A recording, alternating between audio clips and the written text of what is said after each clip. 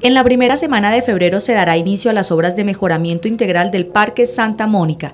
El proyecto, financiado con recursos del Departamento para la Prosperidad Social de PS y la Alcaldía de Pasto, alcanza una inversión de 329 millones de pesos. El proyecto fue adjudicado por cerca de los 329 millones de pesos.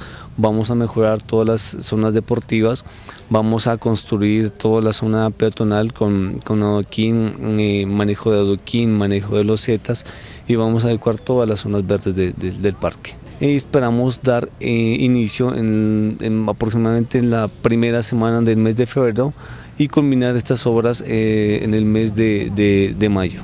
Los habitantes del sector manifestaron su agradecimiento con el mandatario local Harold Guerrero López y la Secretaría de Infraestructura.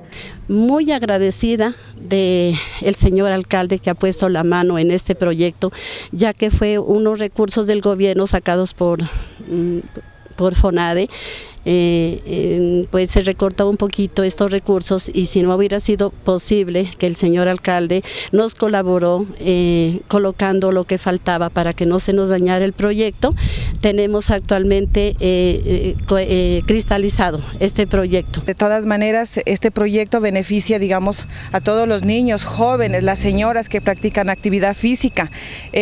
muchas veces los campeonatos nos ha tocado pedir la cancha de Villaflor al presidente de allá de Villaflor para llevar a cabo las actividades deportivas. Entonces ahora mm, ya, como se dice, invitamos a todos los jóvenes, a nuestros habitantes para que cuidemos de nuestros polideportivos, nuestras zonas verdes, que es importante para la recreación de nuestros, de nuestros mismos habitantes, de, de nosotros mismos y que tengamos sentido de pertenencia con nuestras cosas.